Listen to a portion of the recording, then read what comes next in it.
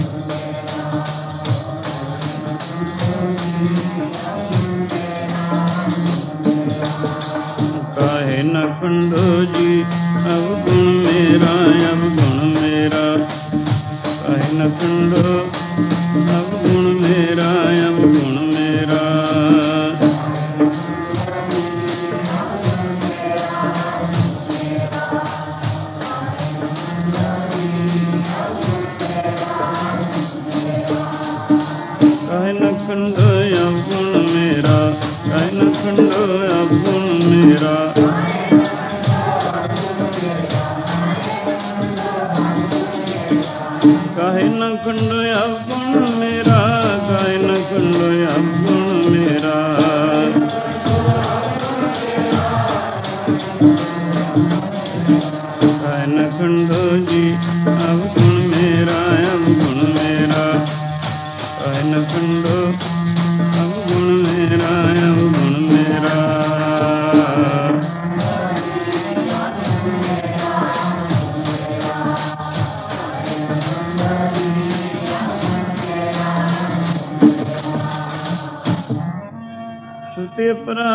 ਕਰਤ ਹੈ ਜੀਤੇ। ਜਨਨੀ ਚੀਤਨ ਰਾਖ ਸਤੇ ਤੇ ਰਾਮਈਆ ਹਮ ਬਾਰਕ ਤੇਰਾ। ਕਾਹੇ ਨ ਖੰਡ ਸੇ ਅਵਗੁਣ ਮੇਰਾ। ਜੇ ਅਤ ਕ੍ਰੋਪ ਕਰੇ ਕਰ ਤਾਂ ਵੀ ਚੀਤਨ ਰਾਖ ਸਮਾਇਆ ਚਿੰਤ ਭਵਨ ਮਨ ਪਰਿਓ ਹਮਾਰਾ। ਨਾਮ ਬਿਨਾ ਕੈਸੇ ਉਤਰਸ ਪਾਰਾ। ਦੇਹ ਬਿਮਲ ਮਤ ਸਦਾ ਸਰੀਰਾ। ਸਹਿਜ ਸਹਿਜ ਗੁਣ ਰਵੇ ਕਬੀਰਾ। ਕਾਇ ਨ ਖੰਡੋ ਜੀ ਅਵ ਗੁਣ ਮੇਰਾ ਅਵ ਗੁਣ ਮੇਰਾ। ਕਾਇ ਨ ਖੰਡੋ ਅਵ ਗੁਣ ਮੇਰਾ ਅਵ ਗੁਣ ਮੇਰਾ।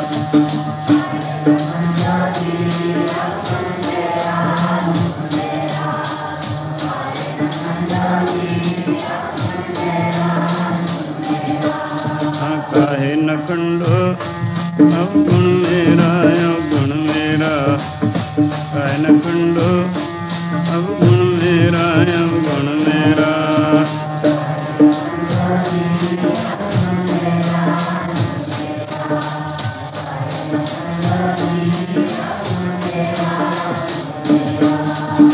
ਕਾਹੇ ਨ ਖੰਡੋ ਅਵਗੁਣ ਮੇਰਾ ਕਾਹੇ ਨ ਖੰਡੋ ਅਵਗੁਣ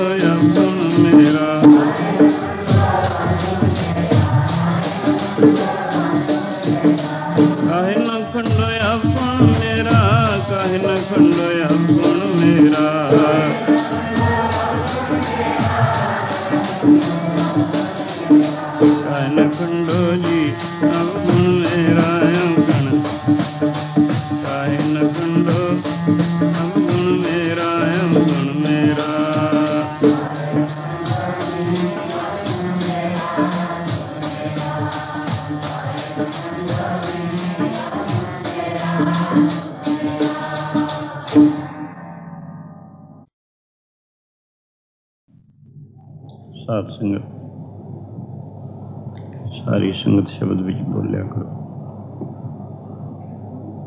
ਰਸਨਾ ਜ਼ਬਾਨ ਦੀ ਸਫਲਤਾ ਵਾਹਿਗੁਰੂ ਦਾ ਜਸ ਕੀਤਿਆਂ ਹੈ। ਇਹ ਜੀਵਾਤਮਾ ਨੂੰ ਵਾਹਿਗੁਰੂ ਵੱਲੋਂ ਲਕਸ਼ ਰਾਸ਼ੀ ਜਾਨ ਦਾ ਸ਼੍ਰੋਮਣੀ ਦੇਹੀ, ਮਾਨੁਖ ਦੇਹੀ ਪ੍ਰਾਪਤ ਹੋਈ ਹੈ। ਇਸ ਮਾਨੁਖ ਦੇਹ ਨੂੰ ਦੇਵਤਾ ਲੋਕ ਵੀ ਤਰਸ ਰਹੇ ਹਨ। ਉਸ ਮਾਨੁਖ ਦੇਹੀ ਦੇ ਵਿੱਚ ਆ ਕੇ ਇਸ ਦਾ ਮੁੱਖ ਫਰਜ਼ ਵਾਹਿਗੁਰੂ ਦੀ ਬੰਦਗੀ ਕਰਨਾ ਹੈ। ਭਾਵੇਂ ਦੋ ਫਰਜ਼ਨ ਗਾਉਣ ਇੱਕ ਮੁੱਖ ਹੈ। ਗਾਉਣ ਫਰਜ਼ ਜਿਸਮ ਦੇ ਵਾਸਤੇ ਜਿਸਮਾਨੀ ਫਰਜ਼ ਜਿਤਨੇ ਹਨ। ਉਹ ਔਰ ਪਰਮਾਰਥ ਫਰਜ਼, ਮੁੱਖ ਫਰਜ਼ ਕਿਹਾ ਜਾਂਦਾ ਹੈ। ਤਾਂ ਮਾਨੁਖ ਤਨ ਦਾ ਮੁੱਖ ਫਰਜ਼ ਵਾਹਿਗੁਰੂ ਦੀ ਬੰਦਗੀ ਕਰਨਾ ਹੈ। ਇਸ ਰਸਨਾ ਦੀ ਜ਼ਬਾਨ ਦੀ ਸਫਲਤਾ ਵਾਹਿਗੁਰੂ ਦਾ ਜਸ ਕੀਤਿਆਂ ਹੀ ਹੈ ਅਤੇ ਸਾਰੇ ਹੀ ਸ਼ਬਦ ਵਿੱਚ ਬੋਲਦੇ ਰਿਹਾ ਕਰੋ। ਗੁਰਬਾਣੀ ਗੁਰਬਾਣੀ ਗਾਵੋ, ਗੁਰਬਾਣੀ ਗੁਰਬਾਣੀ ਗੁਰਬਾਣੀ ਗਾਵੋ, ਗੁਰਬਾਣੀ। ਇਹ ਜੀਵਾਤਮਾ ਨੂੰ ਵਾਹਿਗੁਰੂ ਵੱਲੋਂ ਲਕਸ਼ ਰਾਸ਼ੀ ਦਾ ਸ਼੍ਰੋਮਣੀ ਦੇਹੀ, ਮਾਨੁਖ ਦੇਹੀ ਪ੍ਰਾਪਤ ਹੋਈ ਹੈ। ਇਸ ਮਾਨੁਖ ਦੇਹ ਨੂੰ ਦੇਵਤਾ ਲੋਕ ਵੀ ਤਰਸ ਰਹੇ ਹਨ। ਉਸ ਮਾਨੁਖ ਦੇਹੀ ਦੇ ਵਿੱਚ ਆ ਕੇ ਇਸ ਦਾ ਮੁੱਖ ਫਰਜ਼ ਵਾਹਿਗੁਰੂ ਦੀ ਬੰਦਗੀ ਕਰਨਾ ਹੈ। ਭਾਵੇਂ ਦੋ ਫਰਜ਼ਨ ਗਾਉਣ ਇੱਕ ਮੁੱਖ ਹੈ, ਗਾਉਣ ਫਰਜ਼ ਜਿਸਮ ਦੇ ਵਾਸਤੇ ਜਿਸਮਾਨੀ ਪ੍ਰਾਇਜ ਜਿਤਨੇ ਹਨ, ਉਹ ਔਰ ਪਰਮਾਰਥ ਫਰਜ਼ ਮੁਖ ਫਰਜ਼ ਕਿਹਾ ਜਾਂਦਾ ਹੈ। ਤਾਂ ਤੇ ਮਾਨੁਖ ਤਨ ਮੁੱਖ ਫਰਜ਼ ਵਾਹਿਗੁਰੂ ਦੀ ਬੰਦਗੀ ਕਰਨਾ ਹੈ। ਇਸ ਰਸਨਾ ਦੀ ਜ਼ਬਾਨ ਦੀ ਸਫਲਤਾ ਵਾਹਿਗੁਰੂ ਦਾ ਜਸ ਕੀਤਿਆਂ ਹੀ ਹੈ। ਅਤੇ ਸਾਰੇ ਹੀ ਸ਼ਬਦ ਵਿੱਚ ਬੋਲਦੇ ਰਿਹਾ ਕਰੋ। ਗੁਰਬਾਣੀ ਗੁਰਬਾਣੀ ਗਾਵੋ, ਗੁਰਬਾਣੀ।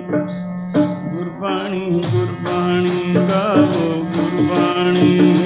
ਗੁਰੂ ਕੇਰੀ ਬਾਣੀਆਂ ਸਿਰ ਬਾਣੀ। ਜਿਨ ਕੋ ਨਜ਼ਰ ਕਰਮ ਹੋਵੇ, ਹਿਰਦੇ ਤਿਨਾ ਸਮਾਣੀ ਪੀਵੋ ਅੰਮ੍ਰਿਤ ਸਦਾ ਰੋ ਜਪੋ ਸਾਰਿੰਗ ਪਾਣੀ, ਕਹੇ ਨਾਨਕ ਸਦਾ ਗਾਵੋ, ਇਹ ਸੱਚੀ ਬਾਣੀ। ਗੁਰੂ ਅਮਰਦਾਸ ਤੀਸਰੇ ਪਾਤਸ਼ਾਹ, ਇਸ ਬਾਣੀ ਦਾ ਸਦੀਵੀ ਅਧਿਐਨ ਕਰਨ ਵਾਸਤੇ ਸਦੀਵੀ ਪਾਠ, ਵਿਚਾਰ, ਕੀਰਤਨ ਕਰਨ ਦੀ ਤਾਕੀਦ ਕਰਦੇ ਹੈ।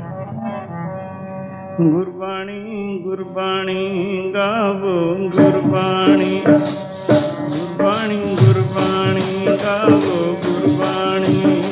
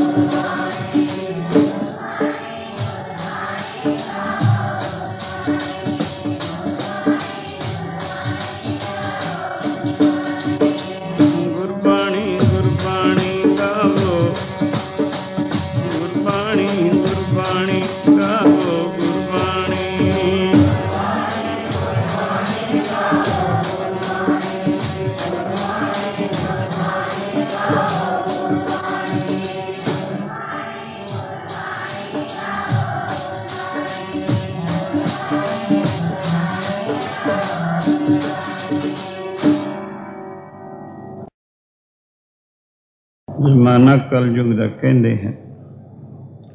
ਕਲਯੁਗ।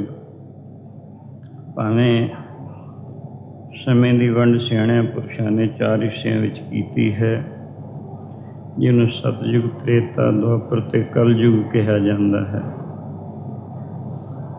ਸਤਯੁਗ ਦੇ ਵਿੱਚ ਵੱਡੇ ਵੱਡੀਆਂ ਲੰਮੀਆਂ ਉਮਰਾਂ ਹੁੰਦੀਆਂ। ਜ਼ਿਆਦਾ ਲੋਕੀ ਸਤਵਾਦੀ ਹੁੰਦੇ। ਤ੍ਰੇਤੇ ਯੁੱਗ ਦੇ ਵਿੱਚ 10000 ਬਰਸ ਉਮਰ ਰਹੀ। ਦੁਆਪਰ ਦੇ ਵਿੱਚ ਹਜ਼ਾਰ ਵਰਾ ਕਲਯੁਗ ਦੀ ਉਮਰ 100 ਸਾਲ ਦੀ ਦੱਸੀ। ਉਸ ਦਾ ਐਸਟੀਮੇਟ ਜਦ ਕਿ ਕਲਯੁਗ ਨੂੰ 5-6 ਦੇ ਦਰਮਿਆਨ ਚੱਲ ਰਿਹਾ ਹੈ, ਘਟ ਗਿਆ। ਆਚਾਰ, ਆਹਾਰ, ਵਿਵਹਾਰ। ਇਹਨਾਂ ਦੀ ਦ੍ਰਿਸ਼ਟੀ 'ਚ ਫ਼ਰਕ ਪੈ ਗਿਆ ਕਿਉਂਕਿ ਜਿਸਮ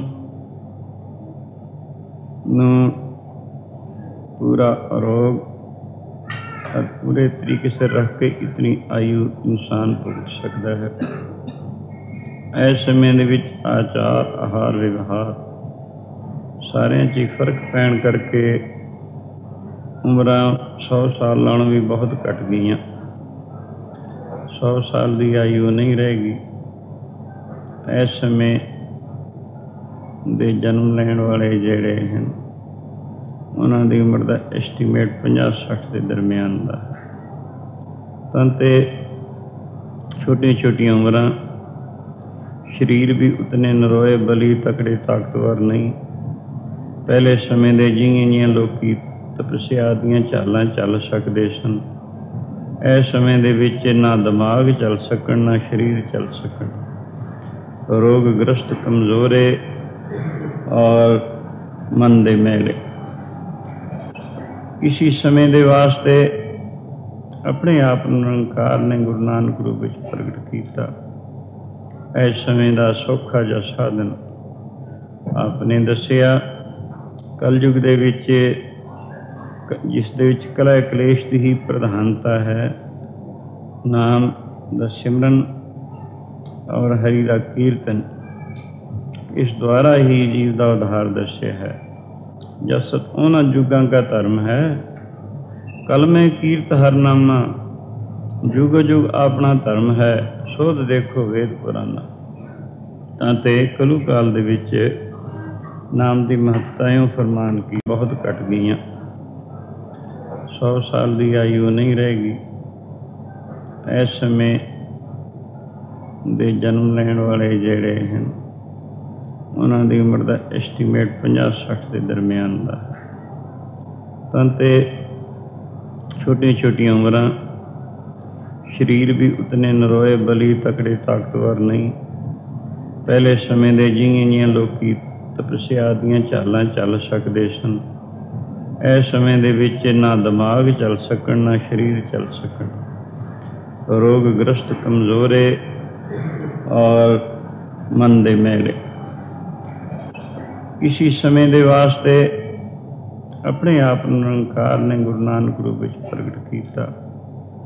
ਇਸ ਸਮੇਂ ਦਾ ਸੌਖਾ ਜਿਹਾ ਸਾਧਨ ਆਪਨੇ ਦੱਸਿਆ, ਕਲਯੁਗ ਦੇ ਵਿੱਚ ਜਿਸ ਦੇ ਵਿੱਚ ਕਲਾ ਕਲੇਸ਼ ਦੀ ਹੀ ਪ੍ਰਧਾਨਤਾ ਹੈ, ਨਾਮ ਦਾ ਸਿਮਰਨ ਔਰ ਹਰੀ ਦਾ ਕੀਰਤਨ ਇਸ ਦੁਆਰਾ ਹੀ ਜੀਵ ਦਾ ਉਧਾਰ ਦੱਸਿਆ ਹੈ। ਜਸਤ ਉਹਨਾਂ ਜੁਗਾਂ ਦਾ ਧਰਮ ਹੈ। ਕਲਮੇ ਕੀਰਤ ਹਰਨਾਮਾ ਜੁਗ ਜੁਗ ਆਪਣਾ ਧਰਮ ਹੈ। ਸੋਧ ਦੇਖੋ ਵੇਦ ਪੁਰਾਣਾ।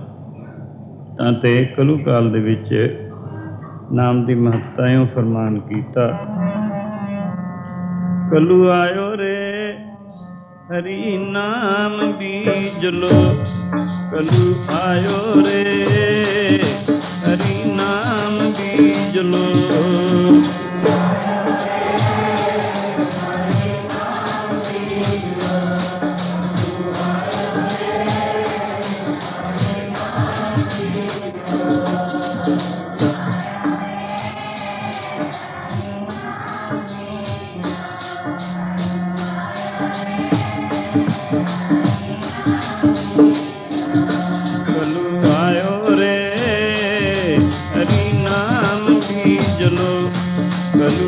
ਆਇਓ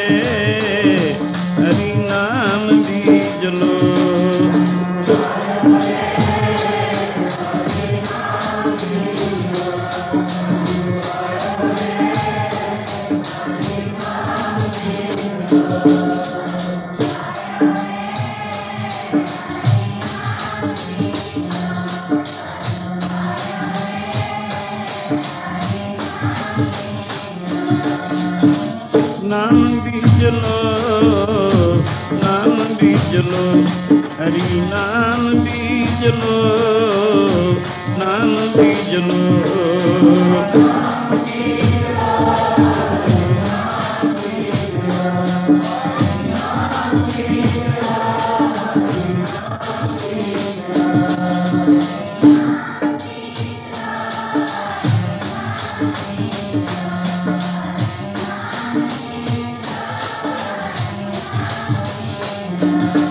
ਹਰੀ ਨਾਮ ਬੀਜ ਲੋ ਨਾਮ ਬੀਜ ਲੋ ਹਰੀ ਨਾਮ ਬੀਜ ਲੋ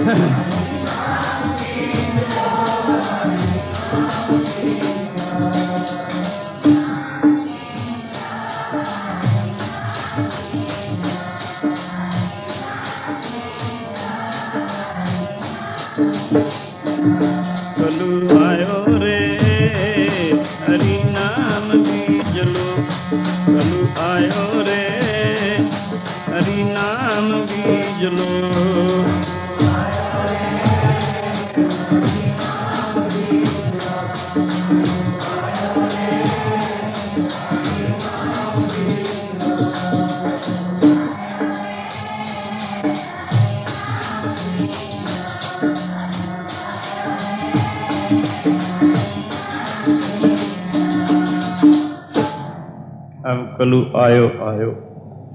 ਇਕ ਨਾਮ ਬੋ ਬੋ। ਆਂਦੁਤ ਨਾਹੀ ਨਾਹੀ। ਮਤ ਫਰਮ ਭੂਲੋ ਭੂਲੋ।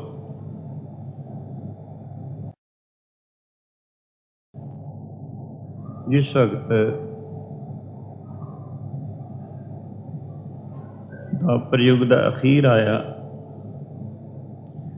ਕੋਈ ਥੋੜਾ ਜਿਹਾ ਸਮਾਂ ਇਸ ਯੁੱਗ ਦਾ ਰਹਿੰਦਾ ਸੀ।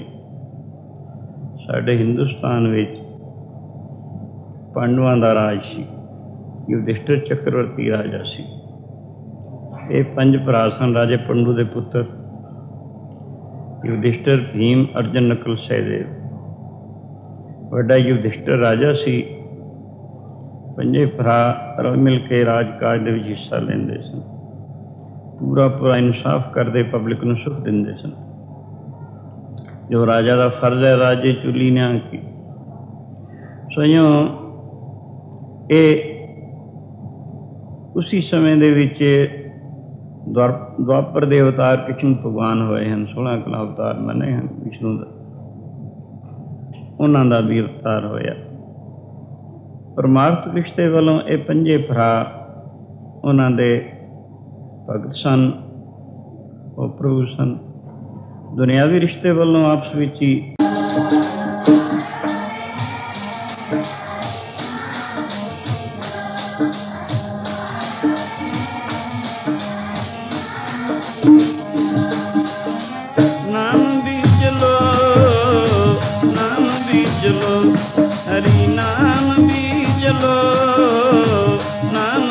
ਬੀਜ ਲੋ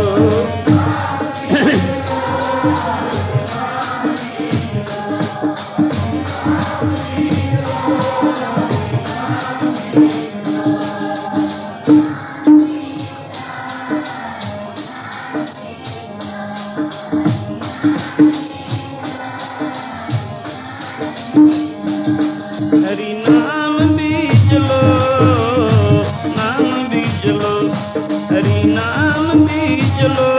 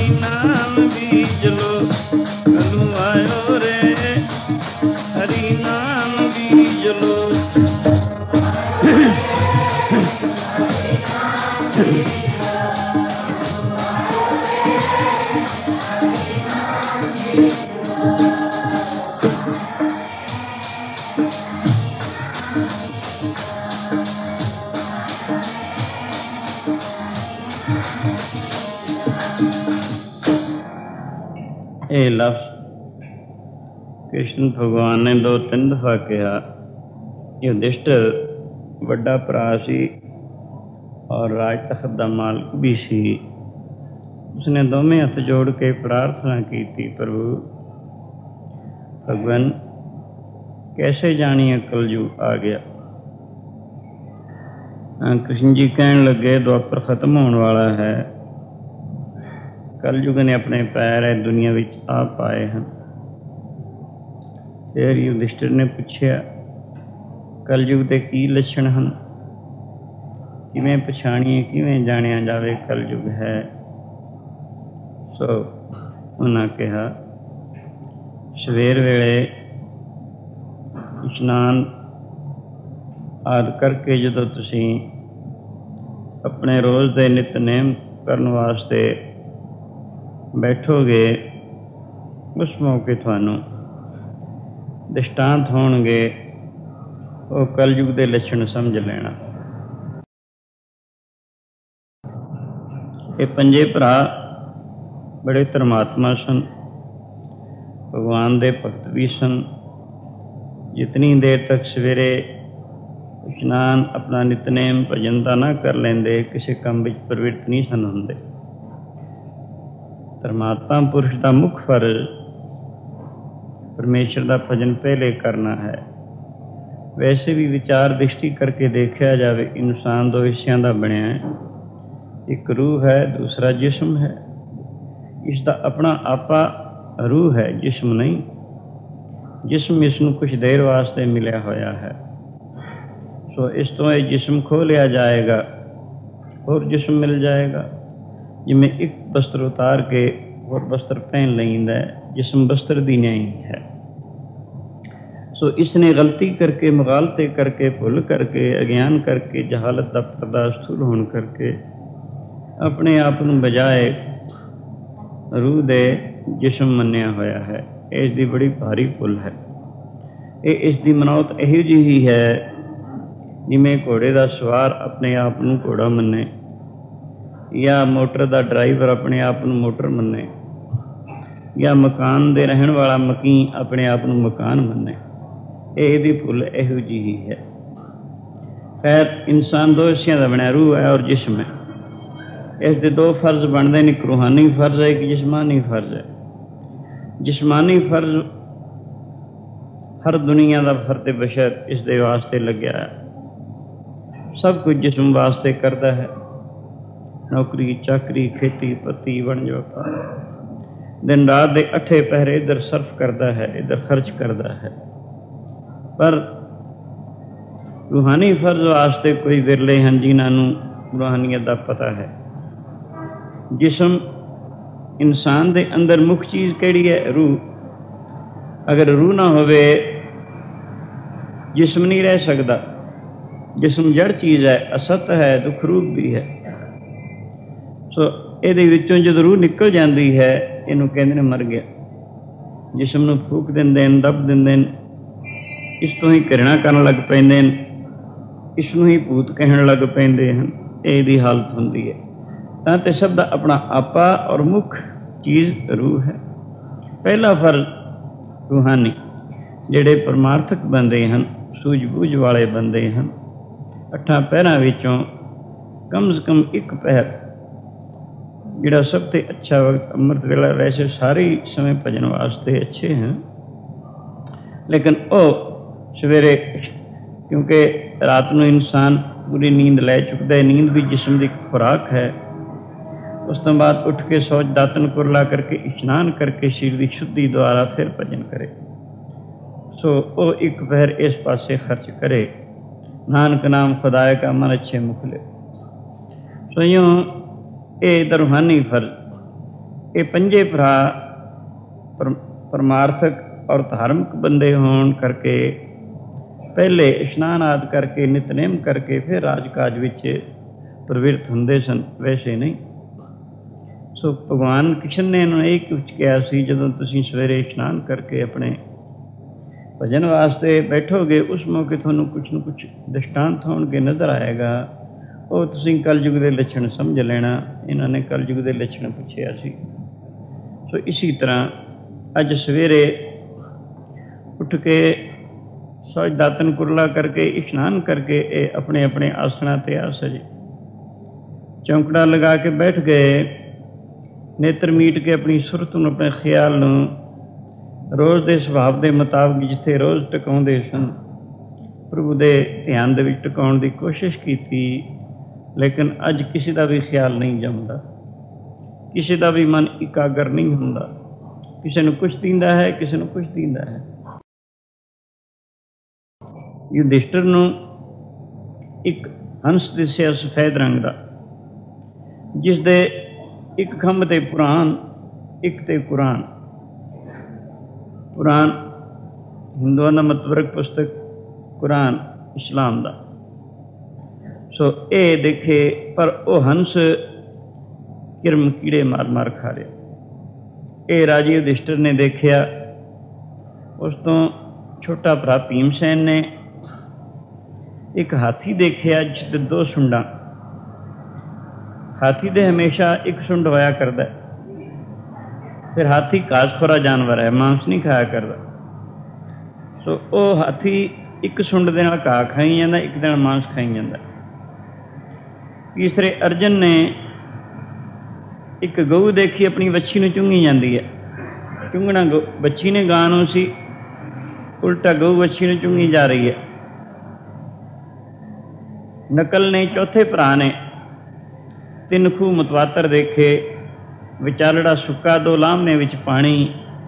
ਪਾਣੀ ਵਾਲੇ ਦੀ ਧਾਰਾ ਇੱਕ ਦੂਜੇ ਨਾਲ ਤਾਲਕ ਰੱਖਦੀ ਹੈ। ਸੁੱਕੇ ਵਿੱਚ ਹੀ ਗੁਜ਼ਰ ਜਾਂਦੀ ਹੈ। ਉਹਦੇ ਵਿੱਚ ਪਾਣੀ ਕੋਈ ਨਹੀਂ ਗਿਰਦਾ। ਪੰਜਵੇਂ ਸਹਿਦੇਵ ਨੇ ਬੜਾ ਭਾਰਾ ਪਹਾੜ।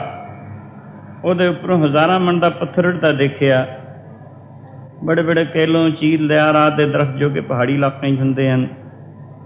ਉਹਨਾਂ ਨੂੰ ਭੰਦਾ ਤੋੜਦਾ ਚਰਿਆ ਆ ਰਿਹਾ ਹੈ, ਕੋਈ ਦਰਖਤ ਉਸ ਨੂੰ ਰੋਕਣ ਨੂੰ ਸਮਰੱਥ ਨਾ ਹੋ ਸਕਿਆ।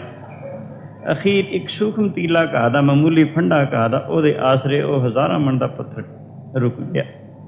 ਇਹ ਪੰਜਾਂ ਨੇ ਅਲੱਗ ਅਲੱਗ ਦ੍ਰਿਸ਼ਟਾਂਤ ਦੇਖੇ, ਪਰ ਕੀੜੇ ਮਾਰ ਮਾਰ ਖਾ ਰਹੇ ਇਹ ਰਾਜੀ ਯੁਧਿਸ਼ਟਰ ਨੇ ਦੇਖਿਆ, ਉਸ ਤੋਂ ਛੋਟਾ ਭਰਾ ਭੀਮ ਸੈਨ ਨੇ ਇੱਕ ਹਾਥੀ ਦੇਖਿਆ ਜਿਸ ਦੇ ਦੋ ਸੁੰਡਾਂ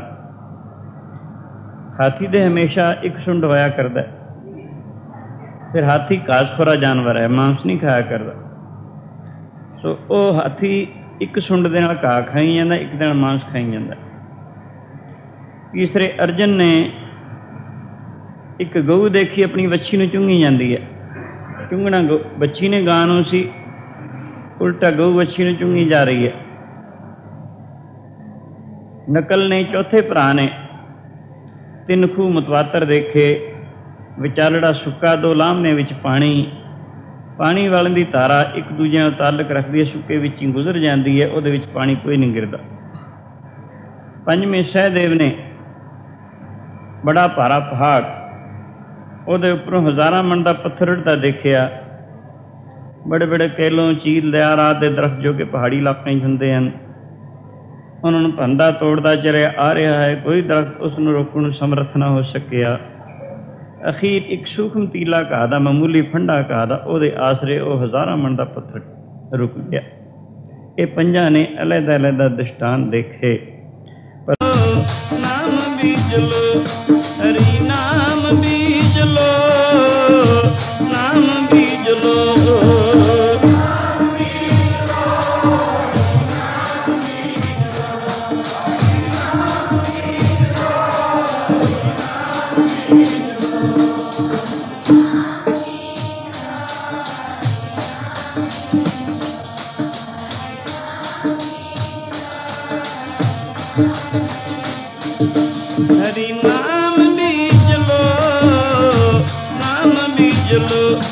हरी नाम बीज लो नाम बीज लो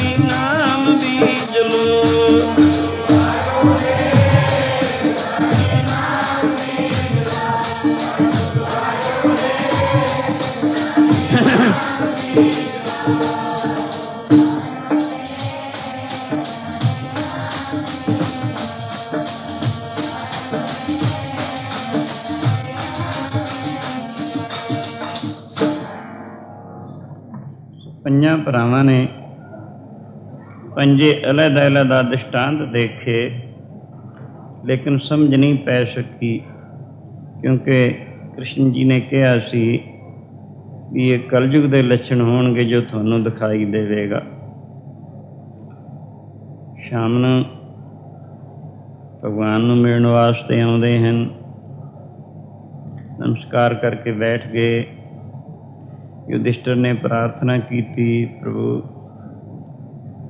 ਆਪ ਦਾ ਹੁਕਮ ਸੀ, ਭਜਨ ਵੇਲੇ ਕੁਝ ਦ੍ਰਿਸ਼ਟਾਂਤ ਹੋਣਗੇ ਜੋ ਕਿ ਕਲੂਕਾਲ ਦੇ ਲੱਛਣ ਹੋਣਗੇ। ਪਰ ਸਾਨੂੰ ਸਮਝ ਕੁਝ ਨਹੀਂ ਪਈ। ਕਿਰਪਾ ਕਰਕੇ ਇਹਨਾਂ ਦਾ ਨਿਰਣਾ ਕਰਕੇ ਸਾਨੂੰ ਸਮਝਾ ਦਿਓ, ਬੜੀ ਮਿਹਰਬਾਨੀ ਹੋਵੇਗੀ। ਸੋ ਜਦੋਂ ਇਹ ਯੁਧਿਸ਼ਟਰ ਨੇ ਪ੍ਰਾਰਥਨਾ ਕੀਤੀ ਉਸ ਮੌਕੇ ਕ੍ਰਿਸ਼ਨ ਜੀ ਕਹਿਣ ਲੱਗੇ, ਆਪਣਾ ਆਪਣਾ ਦ੍ਰਿਸ਼ਟਾਂਤ ਦੱਸੋ ਤਾਂ ਕਿ ਤੁਹਾਨੂੰ ਉਹਨਾਂ ਦਾ ਨਿਰਣਾ ਕਰਕੇ ਦੱਸ ਦਿੱਤਾ ਜਾਏ। ਪਹਿਲੇ ਯੁਧਿਸ਼ਟਰ ਕਹਿਣ ਲੱਗਾ, ਜਿਸ ਵਕਤ ਮੈਂ ਆਪਣੇ ਆਸਣ ਤੇ ਬੈਠਾ ਚੌਂਕੜਾ ਲਗਾ ਕੇ ਆਪਣੇ ਖਿਆਲ ਨੂੰ ਬਾਹਰੋਂ ਸੰਕੋਚ ਕੇ ਰੋਜ਼ ਦੇ ਸੁਭਾਅ ਦੇ ਮੁਤਾਬਕ ਪ੍ਰਭੂ ਧਿਆਨ ਸਿਮਰਨ ਵਿੱਚ ਜੋੜਨ ਲੱਗਾ। ਅੱਗੇ ਜੁੜ ਜਾਂਦਾ ਸੀ, ਲੇਕਿਨ ਅੱਜ ਮੈਨੂੰ ਇੱਕ ਹੰਸ ਨਜ਼ਰ ਆਇਆ ਜਿਸ ਦਾ ਰੰਗ ਸਫੈਦ ਸੀ। ਇੱਕ ਖੰਭ ਤੇ ਪੁਰਾਨ ਇੱਕ ਤੇ ਕੁਰਾਨ, ਔਰ ਉਹ ਹੰਸ ਕੀੜੇ ਮਾਰ ਮਾਰ ਖਾਂਦਾ ਸੀ। ਇਹ ਨਹੀਂ ਸਮਝ ਪਈ, ਪਹਿਲੇ ਹੰਸਾਂ ਦੇ ਖੰਮਾਂ ਤੇ ਪੁਰਾਨ ਕੁਰਾਨ ਨਹੀਂ ਹੁੰਦੇ। ਫਿਰ ਹੰਸਾਂ ਦਾ ਖਾਜਾ ਹੀਰੇ ਮੋਤੀ ਹੁੰਦੇ ਕੀੜੇ ਨਹੀਂ ਮਾਰ ਕੇ ਖਾਇਆ ਕਰ ਇਹ ਕਿਰਪਾ ਕਰਕੇ ਸਮਝਾਓ। ਕ੍ਰਿਸ਼ਨ ਜੀ ਕਹਿਣ ਲੱਗੇ, ਇਹ ਕਲੂਕਾਲ ਦਾ ਹੀ ਲੱਛਣ ਹੈ। ਕਲਯੁਗ ਦੇ ਵਿੱਚ ਪੁਰਾਣਾ ਵਾਚਣ ਵਾਲੇ ਔਰ ਕੁਰਾਨਾ ਵਾਚਣ ਵਾਲੇ ਮਤ ਮਤਾਂਤਰਾਂ ਦੇ ਵਿਦਵਾਨਾਂ ਵਾਲੇ ਇਸ਼ਾਰਾ। ਸੋ ਉਹ ਜੋ ਕੁਰਾਨਾ ਪੁਰਾਣਾ ਵਿੱਚ ਕਥਨ ਕੀਤਾ ਹੈ ਦੋ ਕਿਸਮ ਦੇ ਕਰਤੱਵ ਦੱਸੇ ਹਨ। ਇੱਕ ਤਿਆਗਣੀ ਯੋਗ, ਇੱਕ ਗ੍ਰਹਿਣ ਕਰਨ ਯੋਗ ਕਰਨ ਯੋਗ। ਜਿਹੜੇ ਕਰਮ ਦੁਖਦਾਈ ਹਨ, ਜਿਨ੍ਹਾਂ ਦਾ ਫਲ ਦੁੱਖ ਹੈ ਇੱਥੇ ਉੱਥੇ ਉਹਨਾਂ ਦੇ ਪਰਿਤਿਆਗ ਦੇ ਵਾਸਤੇ ਪ੍ਰੇਰਣਾ ਕੀਤੀ ਹੈ। ਜਿਨ੍ਹਾਂ ਕਰਮਾਂ ਦਾ ਫਲ ਸੁਖ ਹੈ, ਦੁਨੀ ਜਹਾਨੀ, ਉਹਨਾਂ ਕਰਮਾਂ ਨੂੰ ਕਰਨ ਦੀ ਪ੍ਰੇਰਣਾ ਕੀਤੀ ਹੈ। ਸੋ, ਇਸ ਕਰਕੇ ਕਲੂਕਾਲ ਦੇ ਜ਼ਮਾਨੇ ਦੇ ਪੁਰਾਣਾ ਪੁਰਾਣਾ ਆਦ ਵਾਚਣ ਵਾਲੇ ਵਿਦਵਾਨਾਂ ਵਾਲੇ ਸ਼ਾਹ ਵੀ ਜੋ ਉਹਨਾਂ ਅੱਜ ਮੈਨੂੰ ਇੱਕ ਹੰਸ ਨਜ਼ਰ ਆਇਆ ਜਿਸ ਦਾ ਰੰਗ ਸਫੈਦ ਸੀ, ਇੱਕ ਖੰਭ ਤੇ ਪੁਰਾਨ ਇੱਕ ਤੇ ਕੁਰਾਨ ਔਰ ਉਹ ਹੰਸ ਕੀੜੇ ਮਾਰ ਮਾਰ ਖਾਂਦਾ ਸੀ। ਇਹ ਨਹੀਂ ਸਮਝ ਪਈ, ਪਹਿਲੇ ਹੰਸਾਂ ਦੇ ਖੰਮਾਂ ਤੇ ਪੁਰਾਨ ਕੁਰਾਨ ਨਹੀਂ ਹੁੰਦੇ। ਫਿਰ ਹੰਸਾਂ ਦਾ ਖਾਜਾ ਹੀਰੇ ਮੋਤੀ ਹੁੰਦੇ ਕੀੜੇ ਨਹੀਂ ਮਾਰ ਕੇ ਖਾਇਆ ਕਰ। ਇਹ ਕਿਰਪਾ ਕਰਕੇ ਸਮਝਾਓ। ਕ੍ਰਿਸ਼ਨ ਜੀ ਕਹਿਣ ਲੱਗੇ ਇਹ ਕਲੂਕਾਲ ਦਾ ਹੀ ਲੱਛਣ ਹੈ। ਕਲਯੁਗ ਦੇ ਵਿੱਚ ਪੁਰਾਣਾ ਵਾਚਣ ਵਾਲੇ ਔਰ ਕੁਰਾਨਾ ਵਾਚਣ ਵਾਲੇ ਮਤ ਮਤਾਂਤਰਾਂ ਦੇ ਵਿਦਵਾਨਾਂ ਵਾਲੇ ਇਸ਼ਾਰਾ। ਸੋ ਉਹ ਜੋ ਕੁਰਾਨਾ ਪੁਰਾਣਾ ਵਿੱਚ ਕਥਨ ਕੀਤਾ ਹੈ ਦੋ ਕਿਸਮ ਦੇ ਕਰਤੱਵ ਦੱਸੇ ਹਨ। ਇੱਕ ਤਿਆਗਣੀ ਯੋਗ, ਇੱਕ ਗ੍ਰਹਿਣ ਕਰਨ ਯੋਗ ਕਰਨ ਯੋਗ।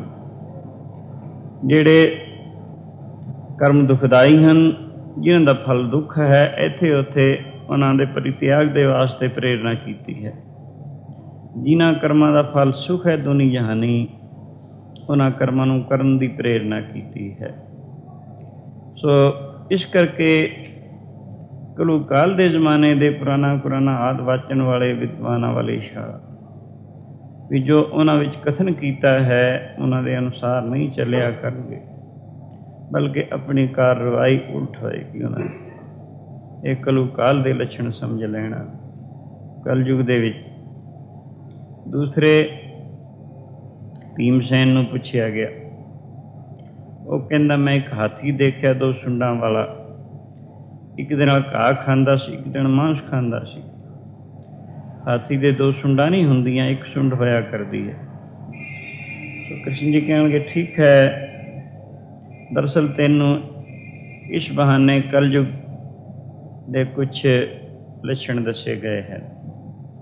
ਕਲਯੁਗ ਦੇ ਵਿੱਚ ਨਿਆਂਕਾਰੀ ਨਿਆਂ ਤੇ ਬਿਠਾਏ ਹੋਏ ਜਿਹੜੇ ਲੋਕ ਹਨ, ਰਾਜਾ ਲੋਕ ਕਹਿ ਲੋ ਨਿਆਂਕਾਰੀ ਕਹਿ ਲੋ ਸੋ ਉਹਨਾਂ ਦਾ ਫਰਜ਼ ਪਰਜ਼ਾਂ ਨੂੰ ਸੁਖ ਦੇਣਾ ਹੋਇਆ ਕਰਦਾ ਪਰ ਕਲਯੁਗ ਦੇ ਵਿੱਚ ਐਸਾ ਹੋਵੇਗਾ, ਉਹ ਸੱਚੇ ਝੂਠੇ ਦੋਨੋਂ ਤੋਂ ਵੱਡੀਆਂ ਲੈ ਕੇ ਕੰਮ ਕੁਝ ਨਹੀਂ ਕਰਿਆ ਕਰਨਗੇ। ਇਹ ਕਲਯੁਗ ਦਾ ਵਰਤ ਵਰਤਾਰਾ ਹੋਏਗਾ, ਪਬਲਿਕ ਦੁਖੀ ਹੋ ਜਾਏਗੀ, ਇਨਸਾਫ ਨਹੀਂ ਮਿਲਿਆ ਕਰੇਗਾ। ਸੋ ਤੀਸਰੇ ਅਰਜਨ ਨੂੰ ਪੁੱਛਿਆ, ਤੂੰ ਦੱਸ, ਅਰਜਨ ਕਹਿਣ ਲੱਗਾ, ਮੈਂ ਇੱਕ ਗਊ ਦੇਖੀ ਜੋ ਆਪਣੀ ਵੱਛੀ ਨੂੰ ਚੁੰਗੀ ਜਾਂਦੀ ਸੀ, ਉਲਟ ਗੱਲ। ਚੁੰਗਣਾ ਵੱਛੀ ਨੇ ਗਾਂ ਨੂੰ ਸੀ। ਕਹਿਣ ਲੱਗੇ ਹਾਂ, ਇਹ ਕਲਯੁਗ ਦਾ ਦ੍ਰਿਸ਼ਟਾਂਤ ਹੈ। ਕਲਯੁਗ ਦੇ ਸਮੇਂ ਦੇ ਵਿੱਚ ਜੋ ਲੋਕ ਲੜਕੀਆਂ ਦਾ ਪੈਸਾ ਲੈ ਕੇ ਖਾ ਕਰਨਗੇ, ਉਲਟਾ ਜਿਹੜਾ ਉਹਨਾਂ ਨੂੰ ਕੁਝ ਦੇਣਾ ਬਣਦਾ ਹੈ। ਜਾਂ ਵਕਤ ਅੱਜ ਕੱਲ੍ਹ ਲੋਕੀ ਲੜਕਿਆਂ ਦਾ ਪੈਸਾ ਵੀ ਲੈ ਕੇ ਖਾਇਆ ਕਰਨਗੇ, ਪਹਿਲੇ ਮੰਗਿਆ ਕਰਨਗੇ, ਕੀ ਦਿੰਨੇ ਇਸ ਦਾ ਨਤੀਜਾ ਦੁਖੀ ਹੋਣਾ ਹੈ। ਇਸ ਕਰਕੇ ਇਹ ਵੀ ਕਲਯੁਗ ਦਾ ਲੱਛਣ ਹੀ ਹੋਏਗਾ। ਚੌਥੇ, ਨਕਲ ਕਹਿਣ ਲੱਗਾ ਮੈਂ ਤੈਨੂੰ ਖੂ ਦੇਖੇ ਮਤਵਾਤਰ। ਵਿਚਾਲੜਾ ਸੁੱਕਾ, ਦੋ ਲਾਮਦਿਆਂ ਵਿੱਚ ਪਾਣੀ ਪਾਣੀ ਵਾਲ ਦੀ ਧਾਰਾ ਇੱਕ ਦੂਜੇ ਨਾਲ ਤਾਲਕ ਰੱਖਦੀ ਹੈ। ਵਿਚਾਲੜਾ ਸੁੱਕੇ ਦਾ ਸੁੱਕਾ ਇਹ ਕਿਰਪਾ ਕਰਕੇ ਦੱਸੋ। ਕਹਿਣ ਲੱਗੇ, ਹਾਂ, ਇਹ ਵੀ ਕਲਯੁਗ ਦੇ ਲੱਛਣ ਹਨ। ਕਲੂ ਕਾਲ ਦੇ ਵਿੱਚ ਲੋਕੀ ਨਜ਼ਦੀਕੀਆਂ ਨਾਲੋਂ ਹਿਤਮੋਹ ਤੋੜ ਕੇ ਦੂਰ ਇਹਨਾਂ ਦਾ ਹਿਤਮੋ ਹੋਇਆ ਕਰੇਗਾ। ਸੋ ਇਸ ਕਰਕੇ ਧਨ ਦੌਲਤ ਦਾ ਹੀ ਪਿਆਰ ਰਹਿ ਜਾਏਗਾ। ਇਸਤਰੀ ਪੁਰਖੇ ਦਾਮ ਹਿਤ ਭਾਵੇਂ ਆਏ ਕਿਥਾਂ ਹੂੰ ਜਾਹੀ। ਇਹ ਕਲਯੁਗ ਦੇ ਲੱਛਣ ਹੋਣਗੇ। ਪੰਜਵੇਂ ਸਹਿਦੇਵ ਕਹਿਣ ਲੱਗਿਆ ਮੈਂ ਇੱਕ ਪਹਾੜ ਤੋਂ ਹਜ਼ਾਰਾਂ ਮਣ ਦਾ ਪੱਥਰ ਦਾ ਦੇਖਿਆ। ਬੜੇ ਬੜੇ ਕੇਲੋਂ ਚੀਰ ਲਿਆਰਾ ਦੇ ਦਰਖਤਾਂ ਨੂੰ ਭੰਦਾ ਤੋੜਦਾ ਚਲਾ ਰਿਹਾ ਹੈ। ਕੋਈ ਵੀ ਦਰਖਤ ਉਸ ਨੂੰ ਰੋਕਣ ਨੂੰ ਸਮਰੱਥ ਨਾ ਹੋ ਸਕਿਆ। ਅਖੀਰ ਸੂਖਮ ਤੀਲਾ ਘਾਰਾ ਆ ਗਿਆ ਜਿਸ ਦੇ ਆਸਰੇ ਉਹ ਹਜ਼ਾਰਾਂ ਮਣ ਦਾ ਪੱਥਰ ਠਲਿਆ ਗਿਆ।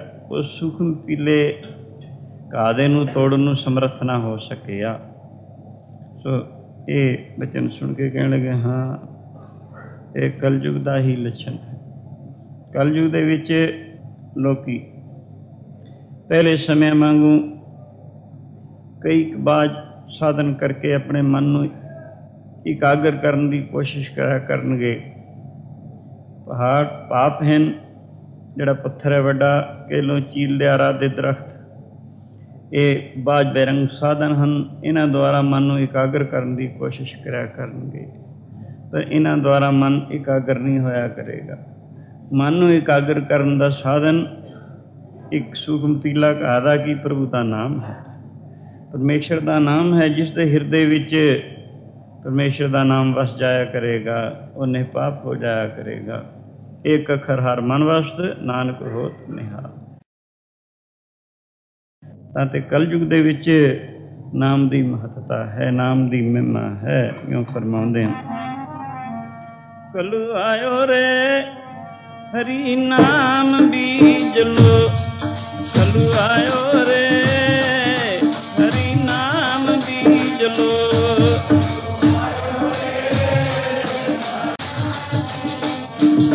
ਹਰੀ ਨਾਮ ਬੀਜ ਲੋ ਨਾਮ ਬੀਜ ਲੋ ਹਰੀ ਨਾਮ ਬੀਜ ਲੋ ਨਾਮ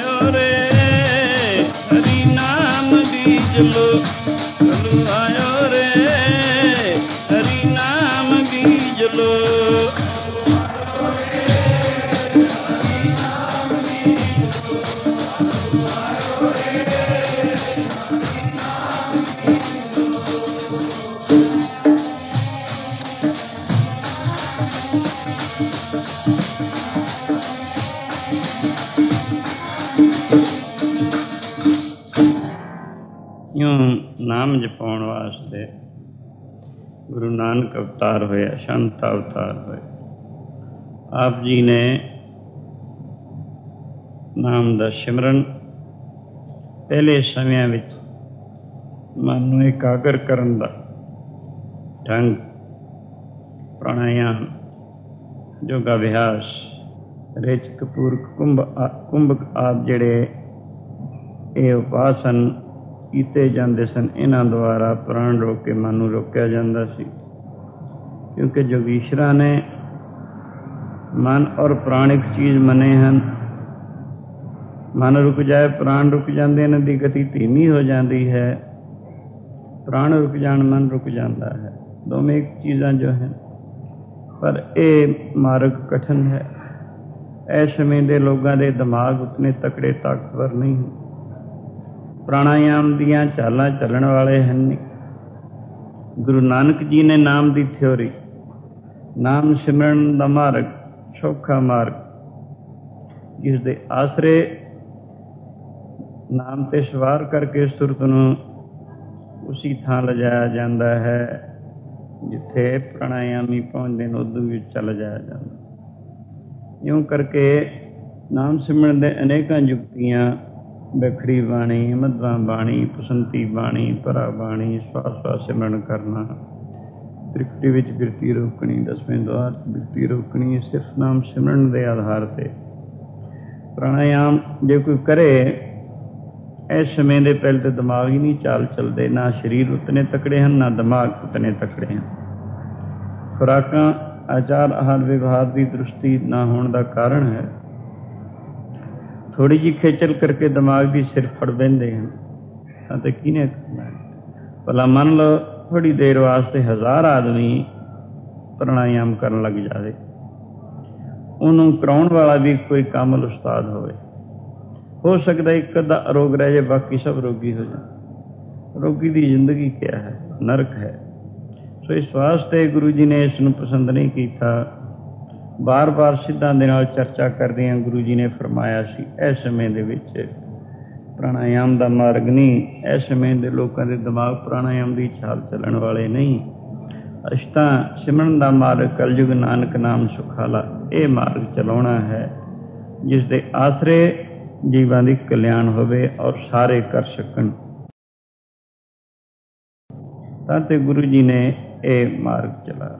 ਨਾਮ ਦਾ ਸਿਮਰਨ ਔਰ ਨਾਮ ਦਾ ਕੀਰਤਨ ਸਿਮਰਨ ਦੇ ਆਸਰੇ ਬਿਰਤੀ ਨੂੰ ਅੰਦਰਤ ਕਰਨਾ, ਕੀਰਤਨ ਦੇ ਵਿੱਚ ਸੁਰਤ ਨੂੰ ਜੋੜਨਾ, ਹਰੀ ਕੀਰਤਨ ਦੇ ਵਿੱਚ ਸੁਰਤ ਨੂੰ ਜੋੜ ਕੇ ਸਿਮਰਨ ਦਾ ਤਖਰੀ ਬਣਾਉਣਾ, ਇਉਂ ਦੱਸਿਆ। ਕੀਰਤਨ ਪ੍ਰਧਾਨਾ ਕਲਯੁਗ ਮੈਂ, ਕੀਰਤਨ ਪ੍ਰਧਾਨਾ ਕਲ ਮੈਂ।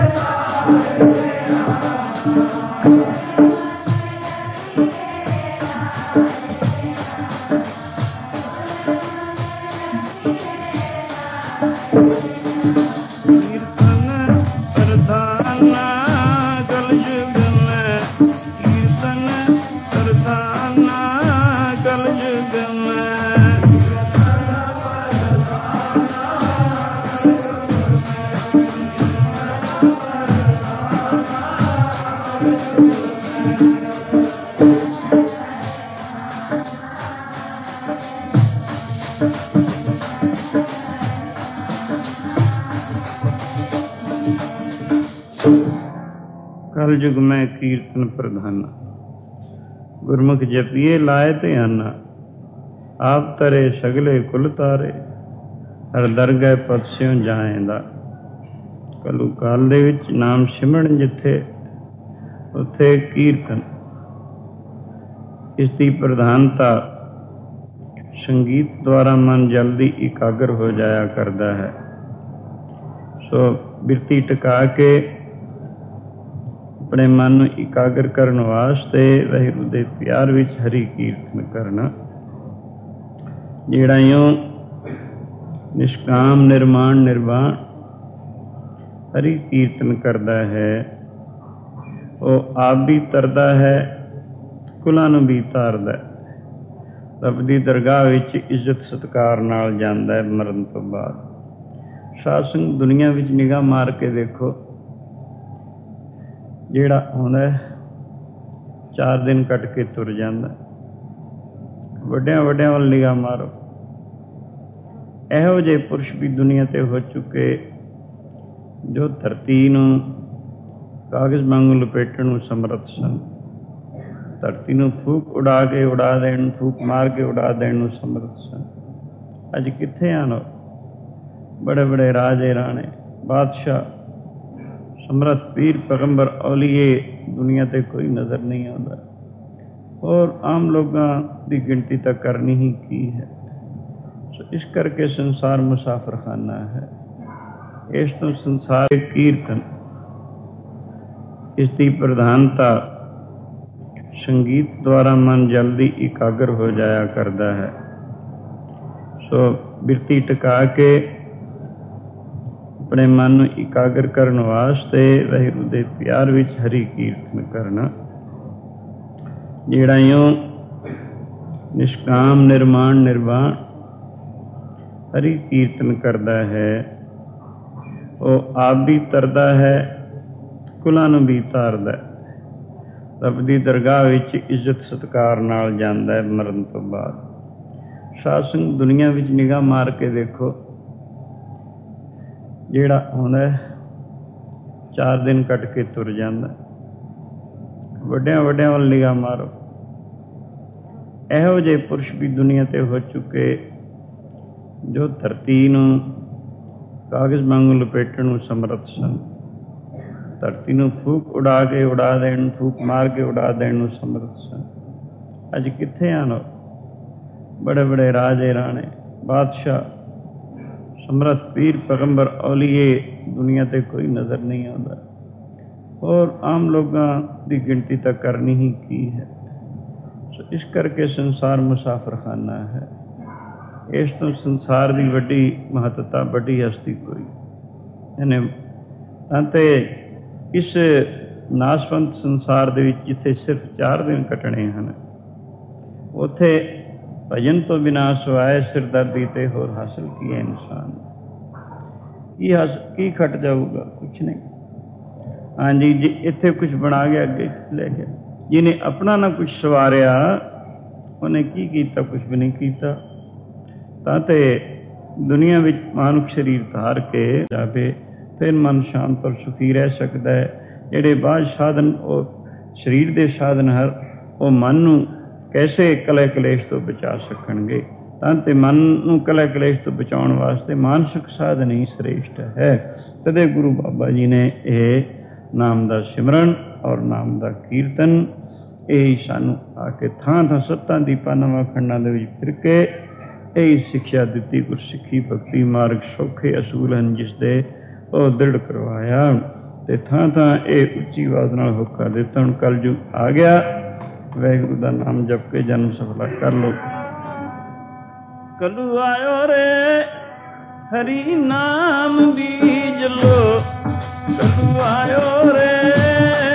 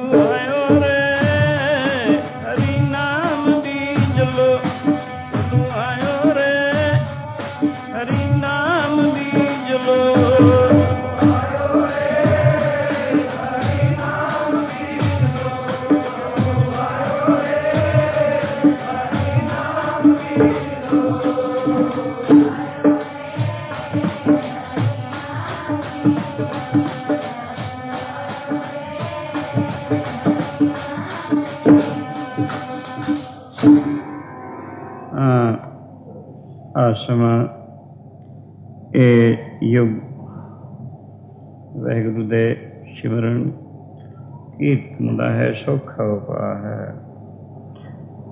ਇਨਸਾਨ ਜਦੋਂ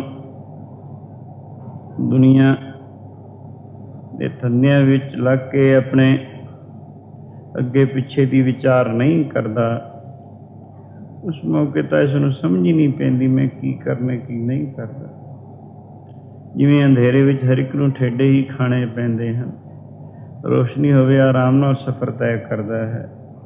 ਇਸੇ ਤਰ੍ਹਾਂ ਵਿਚਾਰ ਰੂਪੀ ਰੋਸ਼ਨੀ ਤੋਂ ਬਿਨਾ ਠੇਡੇ ਹੀ ਖਾਣੇ ਜ਼ਿੰਦਗੀ ਦੇ ਵਿੱਚ ਸਵਾਇ ਸਿਰਦਰਦੀ ਤੇ ਹਾਸਲ ਕੁਝ ਨਹੀਂ ਸਾਧਦੇ ਅਤੇ ਜਿਹੜਾ ਸਮਾਂ ਸਤਸੰਗ ਵਿੱਚ ਵੈਗਰੂ ਦੇ ਜਸ ਵਿੱਚ ਗੁਜ਼ਰਦਾ ਹੈ, ਉਹੀ ਸੁਖ ਰੂਪ ਹੈ, ਸ਼ਾਂਤ ਰੂਪ ਹੈ, ਲੇਖੇ ਵਿੱਚ ਵੀ ਹੈ।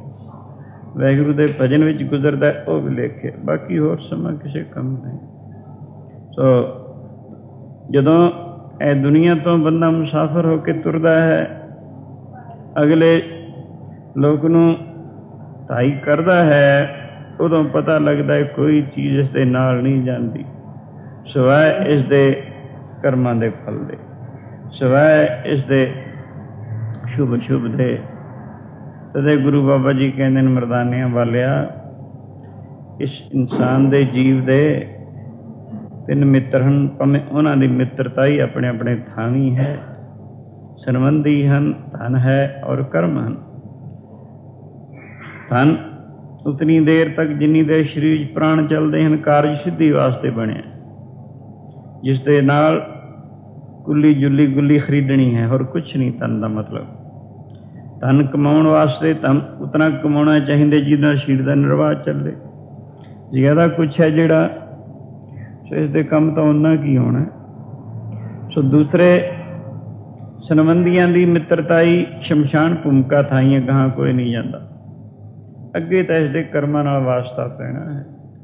ਕਰਮ ਨਾ ਕੀਤੋ ਮਿਤ, ਆਪਣੇ ਕਰਮਾਂ ਨੂੰ ਇਹਨੇ ਚੰਗੇ ਸ਼ੁਭ ਕਰਮ, ਨਾਮਦਾਨ, ਇਸ਼ਨਾਨ, ਇਹਨਾਂ ਦਾ ਸੰਗ੍ਰਹਿ ਨਾ ਕੀਤਾ, ਇਹਨਾਂ ਦਾ ਮਜਮੂਆ ਇਕੱਠਾ ਨਾ ਕੀਤਾ, ਤਾਂ ਕੀ ਕੀਤਾ ਇਨਸਾਨ ਨੇ ਆ ਕੇ? ਸਾਸਨ ਦੁਨੀਆ ਚਾਰ ਦਿਹਾੜੇ ਦੀ ਹੈ। ਇਹ ਵੀ ਨਹੀਂ ਕੋਈ ਕਹਿ ਸਕਦਾ ਕਿਸ ਵੇਲੇ ਸਰੀਰ ਵਿੱਚੋਂ ਪ੍ਰਾਣ ਨਿਕਲ ਜਾਂਦੇ ਕਿਸੇ ਨੂੰ ਕੋਈ ਇਲਮ ਨਹੀਂ ਇਸ ਗੱਲ ਦਾ ਵੀ ਕਿਤਨੀ ਆਯੂ ਹੈ। ਅਤੇ ਇਸ ਗੱਲ ਦਾ ਵਿਚਾਰ ਕਰਦਾ ਹੋਇਆ ਸਿਆਣਾ ਆਦਮੀ ਸੋ ਇੱਥੇ ਸੁਖ ਸ਼ਾਂਤੀ ਨਾਲ ਆਪਣੇ ਸਮੇਂ ਨੂੰ ਗੁਜ਼ਾਰਨ ਦੀ ਕੋਸ਼ਿਸ਼ ਕਰਦਾ ਹੈ, ਉਸ ਦਾ ਉਪਾਅ ਸਤਸੰਗਤ ਹਰੀ ਜਸ ਭਜਨ ਹੀ। ਹੈ ਔਰ ਅਗੰਤ ਨੂੰ ਵੀ ਸਵਾਰਨ ਦਾ ਇਹੀ ਕੁਝ ਉਪਾਅ ਹੈ। ਤਾਂ ਤੇ ਸਾਨੂੰ ਗੁਰੂ ਬਾਬਾ ਜੀ ਨੇ ਹੀ ਦੱਸਿਆ, ਅਬ ਕਲੂ ਆਏ ਆਏ ਕੋ ਬੋ ਬੋ ਬੋ ਆਂਡੁਤ ਨਾਹੀ ਨਾਹੀ, ਮਤ ਫਰਮ ਫੂਲੋ ਫੂਲੋ ਇਹ ਦੱਸਿਆ। ਤਾਂ ਇਸ ਗੱਲ ਨੂੰ ਅਮਲ ਵਿੱਚ ਲਿਆ ਕੇ ਜਨਮ ਸਫਲਾ ਕਰਨ ਦੀ ਕੋਸ਼ਿਸ਼ ਕਰੋ, ਹੁਣ ਗੁਰੂ ਸਤੋਤਰ ਪੜੋ ਤਨ ਹੈ ਤਨ ਹੈ ਤਨ ਹੈ, ਗੁਰੂ ਨਾਨਕ ਸਾਹਿਬ, ਧਨ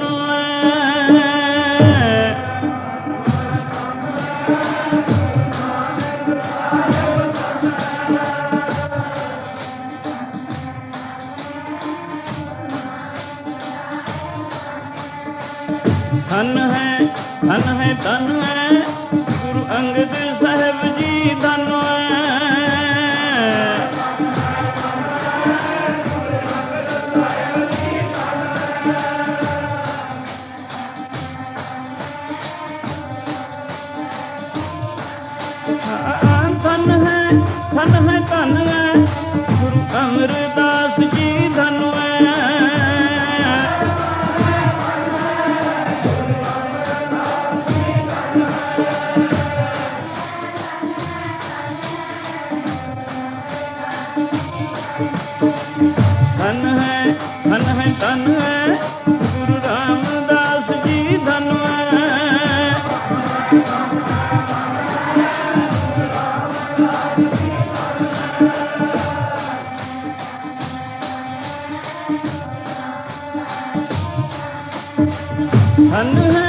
ਧਨ ਹੈ ਗੁਰੂ ਅਰਜਨ ਸਾਹਿਬ ਧਨ ਹੈ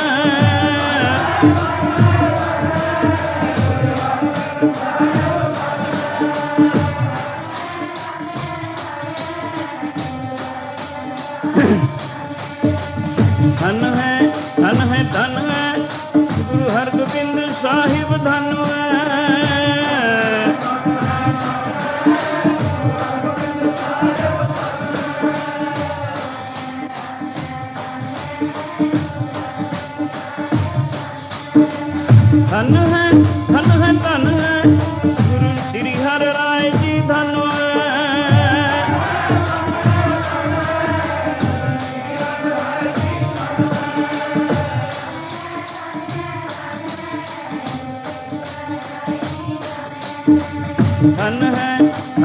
Anar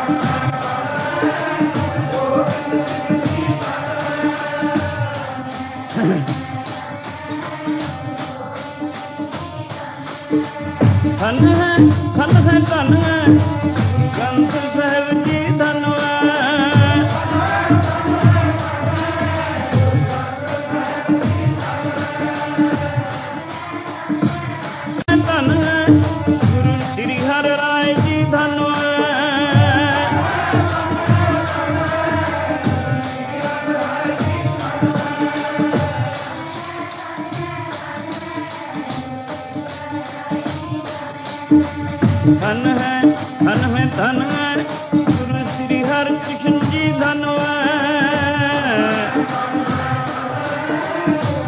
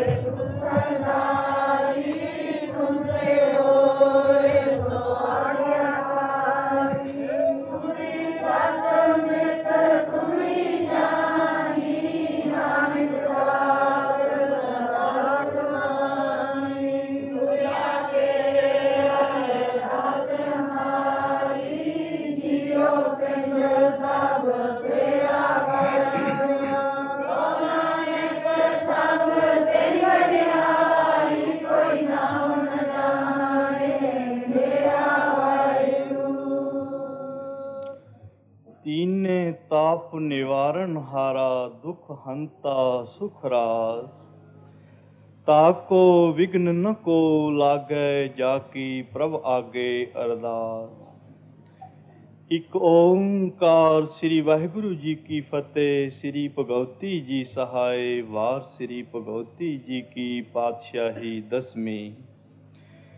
ਪਿਰਥਮ ਭਗਵਤੀ ਸਿਮਰ ਕੈ ਗੁਰੂ ਨਾਨਕ ਲਈ ਥਿਆਏ ਫਿਰ ਅੰਗਦ ਗੁਰ ਤੇ ਅਮਰਦਾਸ, ਰਾਮਦਾਸੇ ਹੋਈ ਸਹਾਇ। ਅਰਜਨ ਹਰ ਗੋਬਿੰਦ ਨੂੰ ਸਿਮਰੋ, ਸ੍ਰੀ ਹਰ ਰਾਏ, ਸ੍ਰੀ ਹਰ ਕ੍ਰਿਸ਼ਨ ਧਿਆਈਏ, ਜਿਸ ਡਿਠੇ ਸਭ ਦੁਖ ਜਾਏ। ਗੁਰੂ ਤੇਗ ਬਹਾਦਰ ਸਿਮਰਿਐ ਖਰਨੋ ਨਿਦ ਆਵੇ ਧਾਏ, ਸਭ ਥਾਈ ਹੋਏ ਸਹਾਏ। ਦਸਵੇਂ ਪਾਤਸ਼ਾਹ ਸ੍ਰੀ ਗੁਰੂ ਗੋਬਿੰਦ ਸਿੰਘ ਸਾਹਿਬ ਜੀ ਸਭ ਥਾਈ ਹੋਏ ਸਹਾਏ, ਸ਼ਲੋਕ ਮਹੱਲਾ ਦੂਜਾ। ਆਪੇ ਜਾਣੇ ਕਰੇ ਆਪ, ਆਪੇ ਆਣੇ ਰਾਸ, ਤਿਸੇ ਅੱਗੇ ਨਾਨਕਾ ਖਲੇ ਕੀਚੇ ਅਰਦਾਸ। ਸਤਿ ਸ੍ਰੀ ਅਕਾਲ, ਪੁਰਖ ਜੀ ਕਾ ਧਿਆਨ ਤਰਕੇ, ਖਾਲਸਾ ਸਾਹਿਬ ਬੋਲੋ ਜੀ ਵਾਹਿ ਦਸਾਂ ਪਾਤਸ਼ਾਹੀਆਂ ਦੀ ਜੋਤ, ਸ੍ਰੀ ਗੁਰੂ ਗ੍ਰੰਥ ਸਾਹਿਬ ਜੀ ਦੇ ਪਾਠ। ਦਰਸ਼ਨ ਦੀਦਾਰ ਦਾ ਧਿਆਨ ਤਰਕੇ, ਖਾਲਸਾ ਸਾਹਿਬ ਬੋਲੋ ਜੀ ਚਾਰ ਸਾਹਿਬਜ਼ਾਦੇ, ਪੰਜ ਪਿਆਰੇ 40 ਮੁਕਤੇ ਚੌਹਾਂ ਤਖਤਾਂ, ਸਰਬੱਤ ਗੁਰਦੁਆਰਿਆਂ ਦਾ ਧਿਆਨ ਤਰਕੇ, ਖਾਲਸਾ ਸਾਹਿਬ ਬੋਲੋ ਜੀ ਵਾਹਿ ਜਿਨ੍ਹਾਂ ਗੁਰਮੁਖਾਂ ਨਾਮ ਜਪਿਆ, ਵੰਡ ਛਕਿਆ, ਧਰਮ ਹੈ ਸੀਸ ਦਿੱਤੇ, ਚਰਖੀਆਂ ਤੇ ਚੜੇ, ਬੰਦ ਬੰਦ ਕੁਟਵਾਏ, ਸਿਦਕ ਨਹੀਂ ਹਾਰਿਆ। ਤਿੰਨਾਂ ਸਚਿਆਰੀਆਂ, ਪਿਆਰਿਆਂ ਸਿਦਕਵਾਨ ਸਿੱਖਾਂ ਦੀ ਕਮਾਈ ਦਾ ਧਿਆਨ ਤਰਕੇ ਖਾਲਸਾ ਸਾਹਿਬ, ਬੋਲੋ ਜੀਵਾ। ਸਿੱਖਾਂ ਦਾ ਮਨ ਨੀਵਾ ਮਤ ਉੱਚੀ ਮਤ ਪਤ ਕਾ ਰਾਖਾ, ਆਪ ਅਕਾਲ ਪੁਰਖ ਵਾਹਿਗੁਰੂ, ਸਿੱਖਾਂ ਨੂੰ ਸਿੱਖੀ ਦਾਨ।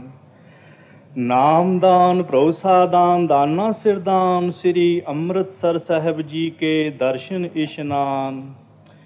ਚੌਂਕੀਆਂ ਝੰਡੇ ਬੁੰਗੇ, ਜੁਗੋ ਜੁਗ ਅਟਲ, ਧਰਮ ਕਾ ਜੈਕਾਰ, ਸੱਚੇ ਪਾਤਸ਼ਾਹ, ਸਿੱਖੀ ਸਿਦਕ, ਕੇਸਾਂ ਸਵਾਸਾਂ ਸੰਗ ਨਿਭਾਉਣਾ। ਹੇ ਕਰਨਾ ਨਿਧਾਨ ਸਤਿਗੁਰੂ ਜੀਓ, ਆਪ ਜੀ ਦੇ ਹਜ਼ੂਰ ਰਾਤਰੀ ਦੇ ਦੀਵਾਨ ਸਜਾਏ ਹਨ, ਕੀਰਤਨ ਵਖਿਆਨ ਹੋਏ ਹਨ। ਅੱਖਰ ਵਾਧਾ ਘਾਟਾ, ਭੁੱਲ ਚੁੱਕ ਮਾਫ ਕਰਨਾ, ਅੱਗੇ ਵਾਸਤੇ ਸੁਧ ਸਪਸ਼ਟ ਕੀਰਤਨ ਵਖਿਆਨ ਕਰਨ ਦਾ ਵੱਲ ਬਖਸ਼ੋ। ਹੇ ਮਿਹਰਬਾਨ ਗੁਰਬਾਣੀ ਦੁਆਰਾ ਵਿਚਾਰਾਂ ਕੀਤੀਆਂ ਹਨ, ਇਹਨਾਂ ਦਾ ਪ੍ਰਭਾਵ ਸਾਡੇ ਕਲਯੁਗੀ ਜੀਵਾਂ ਦੇ ਹਿਰਦਿਆਂ ਤੇ ਵਸਾਓ। ਆਈ ਸੰਗਤ ਦੀ ਹਾਜ਼ਰੀ ਆਪ ਜੀ ਦੇ ਦਰ ਤੇ ਪ੍ਰਵਾਨ ਕਰੋ ਨਾਮਦਾਨ ਸਿੱਖੀ ਦਾਨ, ਭਰੋਸਾ ਬਖਸ਼ੋ। ਆਪ ਜੀ ਦੇ ਹਜ਼ੂਰ ਕੜਾ ਪ੍ਰਸ਼ਾਦ ਦੀ ਦੇਗ ਹਾਜ਼ਰ ਹੈ, ਆਪ ਜੀ ਭੋਗ ਲਾਓ, ਸੀਤ ਪ੍ਰਸ਼ਾਦ ਸਾਧ ਸੰਗਤ ਕੋ ਮਿਲੇ। ਕਾਮ ਕ੍ਰੋਧ ਲੋਭ ਮੋਹ ਅਹੰਕਾਰ ਆਦਿਕ ਤੋਂ ਬਚਾ ਕੇ ਆਪ ਜੀ ਦੇ ਪਵਿੱਤਰ ਚਰਨ ਕਮਲਾਂ ਦੀ ਪ੍ਰੀਤ ਬਖਸ਼ੋ, ਸੇਈ ਪਿਆਰੇ ਮੇਲ। ਜਿੰਨਾ ਮਿਲਿਆ ਆਪ ਜੀ ਦਾ ਨਾਮ ਅਠੇ ਪਹਿਰ ਚਿਤ ਆਵੇ, ਕਲਾ ਵਾਹਿਗੁਰੂ ਜੀ ਕੀ ਵਰਤੇ, ਗੁਰੂ ਨਾਨਕ ਨਾਮ ਚੜ੍ਹਦੀ ਕਲਾ, ਤੇਰੇ ਬਾਣੇ ਸਰਬੱਤ ਕਾ ਭਲਾ। ਵਾਹਿਗੁਰੂ ਜੀ ਕਾ ਖਾਲਸਾ, ਵਾਹਿਗੁਰੂ ਜੀ ਕੀ ਮੋਲੇ ਸੋਨਿਹਾ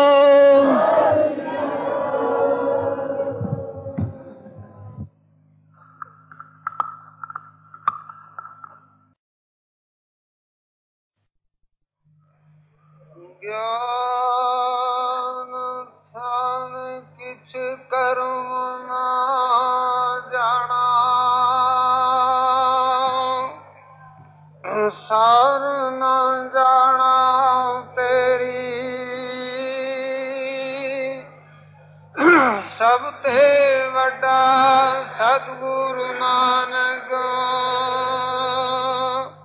ਜਿਨ ਕਲ ਰਾਖੀ ਮੇਰੀ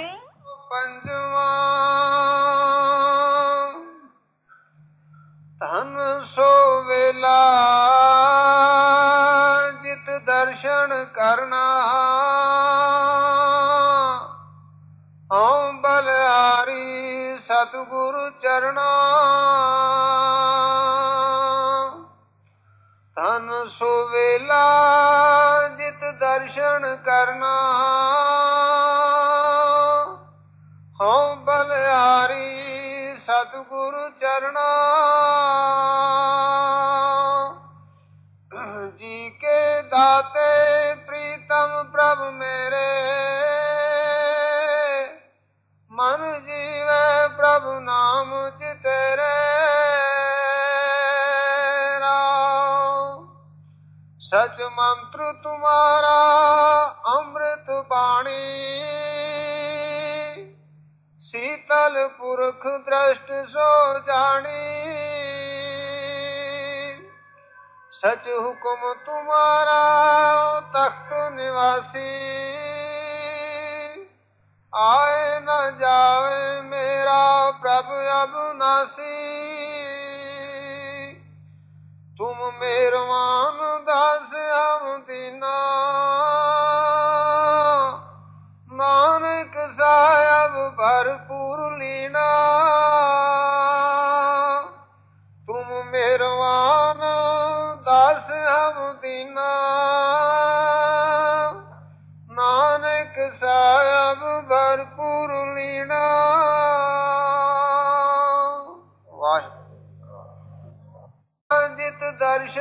ਕਰਨਾ। ਹਉ ਬਲਿਆਰੀ ਸਤਿਗੁਰੂ ਚਰਣਾ।